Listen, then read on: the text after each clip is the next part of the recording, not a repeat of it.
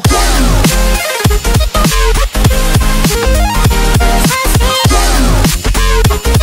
Interviewée dans 50 minutes Inside pour son grand retour sur scène, Véronique Sanson s'est confiée sur sa peur de retrouver son public qui a selon elle, pardonné l'impardonnable.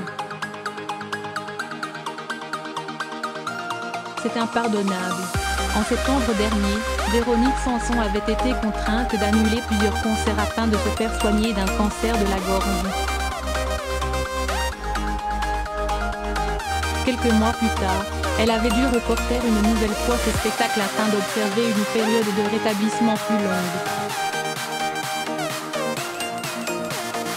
Et tandis qu'elle a récemment fait son grand retour sur scène, la chanteuse se dit très stressée. Mais j'ai tellement hâte, a-t-elle précisé dans une interview accordée à 50 minutes Inside, diffusée samedi 6 avril. Et pour cause, Véronique Sanson voudrait remercier son public, qui l'a tant soutenu durant sa maladie.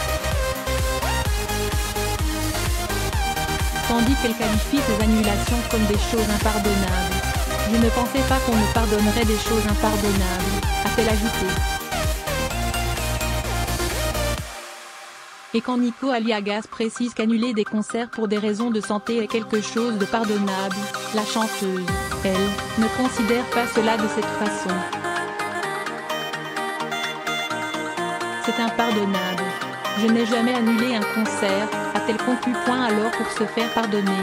Véronique Sanson fêtera son anniversaire le 24 avril prochain sur la scène du Palais des Sports à Paris et sera en tournée dans toute la France du 3 avril au 16 mai prochain. Mais avant de reprendre ses concerts, la chanteuse s'était également interrogée sur le regard de son public après la révélation de son cancer. J'avais envie d'être heureux moi et j'avais peur qu'il me regarde avec pitié confiait-elle sur RTL le 4 avril dernier.